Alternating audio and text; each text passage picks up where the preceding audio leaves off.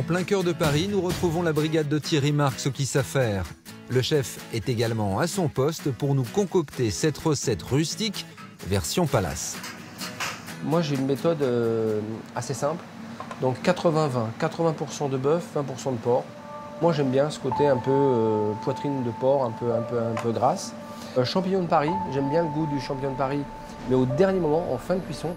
Allez, c'est parti pour cette version 2 étoiles du fameux hachis. Première mission, c'est de commencer le ragoût. Allez, on y va, c'est parti. Baguette, action. Donc on va commencer par le porc d'abord. Alors, euh, je mets pas trop de viande à la fois. Il faut vraiment saisir je vais sécher ma viande. on voit bien, l'eau, elle s'évapore tout de suite.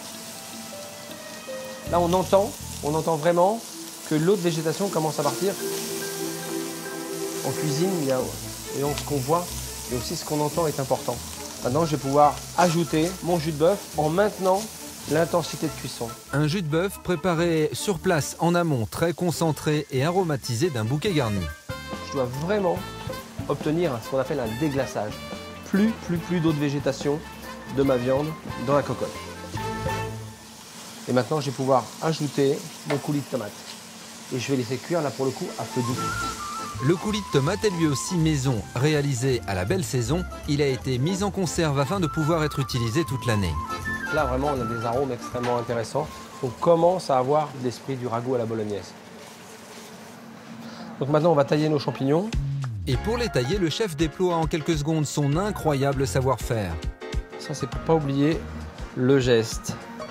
J'adore, ça m'amuse toujours. Et voilà. Les magnifiques têtes de champignons sont ensuite passées à la mandoline, puis très finement coupées en brunoise. Ce qui m'intéresse là, c'est de retrouver le goût du champignon de Paris juste à la fin de la cuisson de mon ragoût. Voilà. Là, c'est bien. Je s'aperçoit que la cuisson est quasiment au point. On va pouvoir ajouter les champignons que je vais juste les laisser fondre. Et hors du feu, on va laisser le jus du champignon de Paris se libérer. Voilà. On réserve et on passe aux pommes de terre. Passé par les cuisines de Joël Robuchon, qui a donné ses lettres de noblesse à la purée, Thierry Marx s'inspire de cette technique de grand chef. De l'eau, pommes de terre, un peu de gros sel et un bouquet garni. Poireaux, thym, laurier.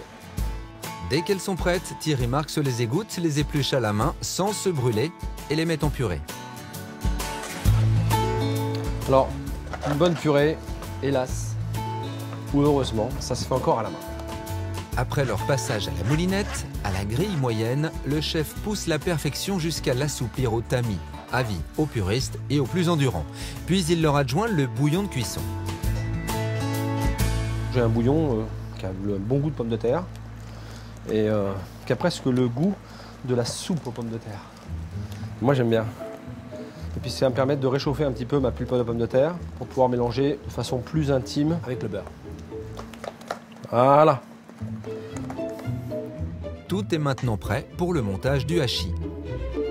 Je commence toujours par la purée parce que j'aime bien emprisonner un peu le jus du ragoût. Voilà. Je vais lisser puis il garnit généreusement de viande avant de recouvrir d'une ultime couche de purée et d'un mélange de fromage parmesan pecorino. Et je le mets juste un petit peu comme liant et comme croustillant.